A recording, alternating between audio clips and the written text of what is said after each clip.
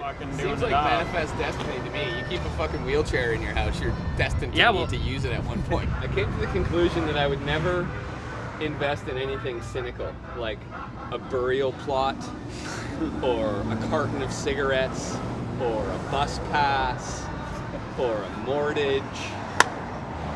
And keeping a fucking wheelchair, that's the most cynical possession you can own. It was fun. It's fun to do wheelies in a wheelchair. Hey Come man, I'm not judging you. I'm just saying that it's important to remember that cynicism is an evil force and you need to blot it out in all of its forms. You're 100% right. I can't agree Up with you anymore. Up top, son. Whack. White guys. White guys. Hey, white guys, are you sick and tired of missing those high fives? Embarrassing yourselves at sporting events, bars, staff meetings? Well, here's a little tip for you. Come on, Neil, let's show them. Give me the elbow, son. Watch the elbow. Watch that doubt, elbow. Watch the elbow. Oh! now blindfolded. Yeah. oh wait, you can't watch the elbow while you're blindfolded.